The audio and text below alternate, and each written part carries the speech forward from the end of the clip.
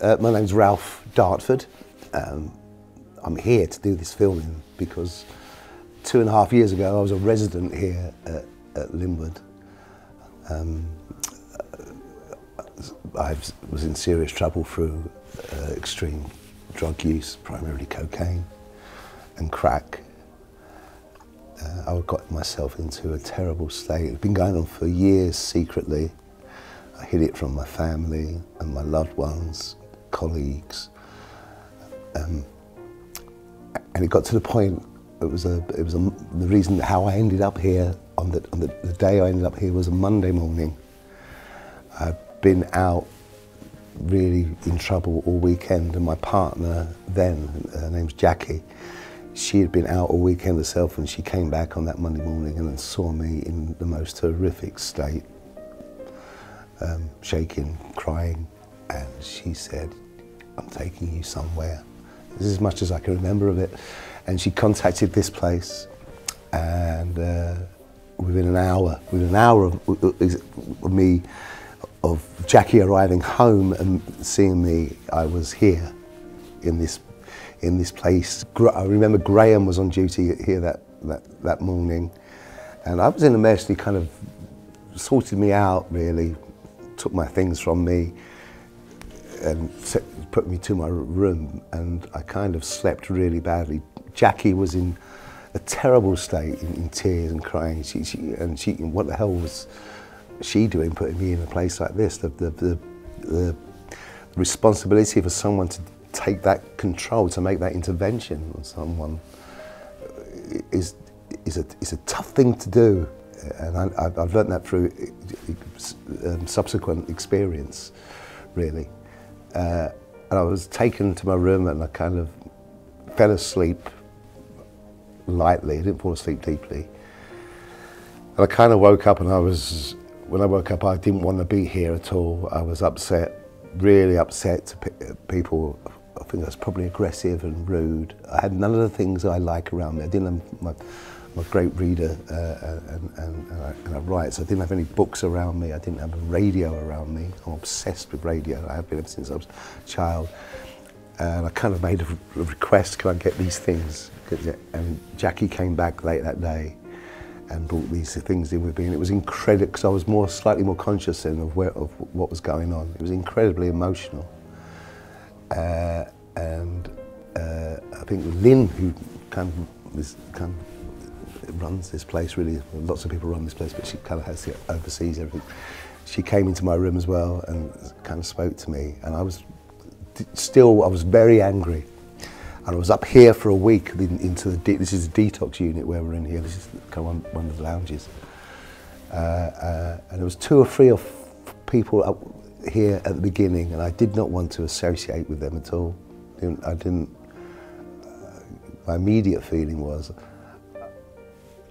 I'm better than you. I'm not, I'm not like you. You're, you're, you're an addict. I've just got a problem with drugs. I really didn't want to talk to anyone.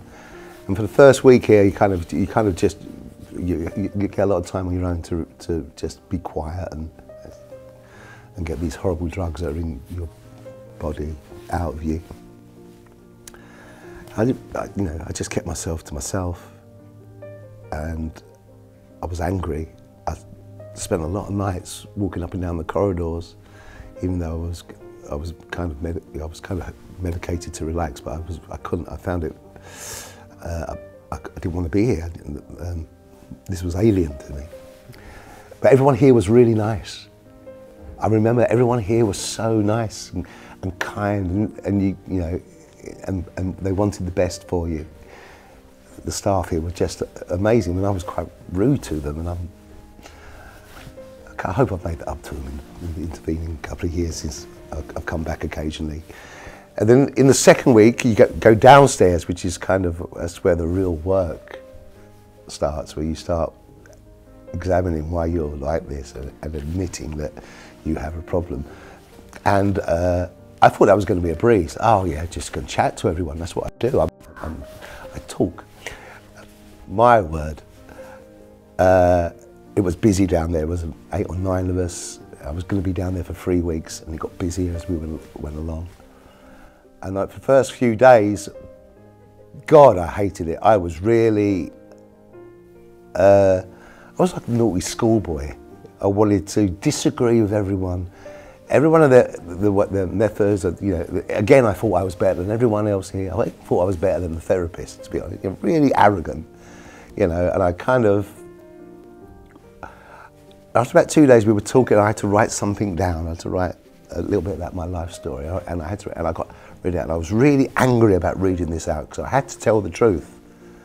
Yeah, I understood that. Yeah, and I was crying, and I was really angry, and I was shouting at other people. And I think one of the therapists, she, and she took me aside during a coffee break, and she said, "Don't leave. Don't, don't leave here." I think it's going to be important for you. Because I was kind of, I wasn't going to leave, but I kind of wanted to leave. And kind of after that, the penny dropped. It was, it was, it was, uh, it was incredible actually.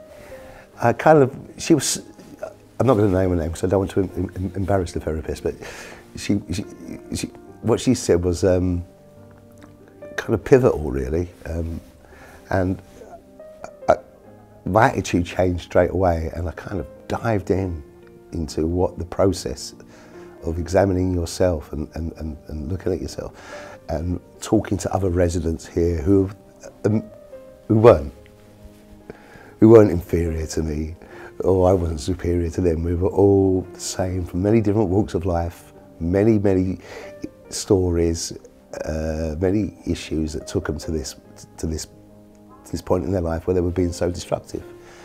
And I, I learned so much very, very quickly and it,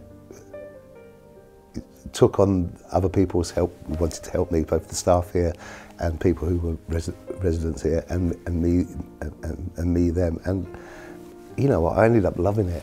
I ended up, it was probably the most, well I know it for sure, without, without question, it was the most valuable three weeks I've ever had, had in, in, in my life.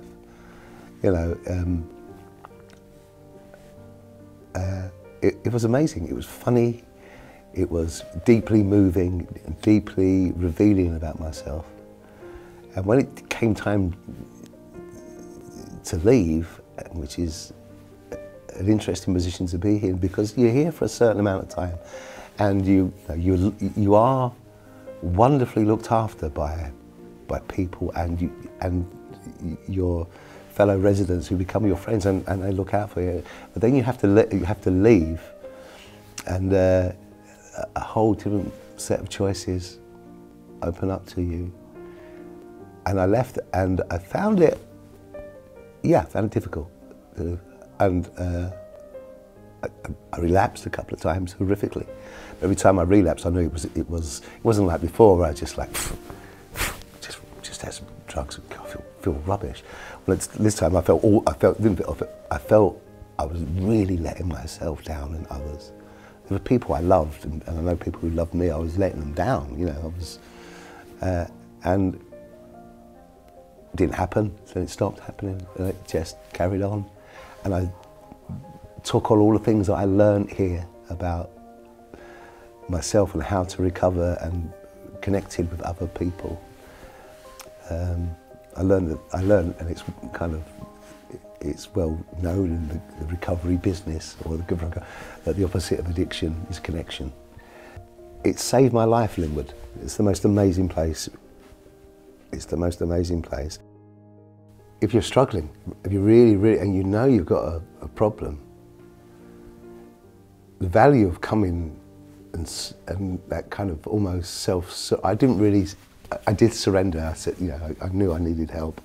But if, if, if you know you're really struggling and places like Linwood uh, will save your life if you, if you want your life saved. And that's the most important thing. You've got to really want to know and accept that something is wrong. I didn't I knew something was wrong. I found it difficult to accept in, the, in my early days here. And then it all, it all changed.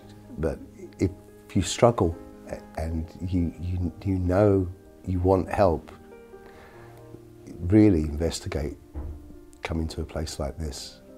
It, it will save your life. And if you're the loved one or a relative or partner or child or a grown up, and you know that someone you love is in real trouble, and you may want to think about talking to a place like this to see what can what can be done.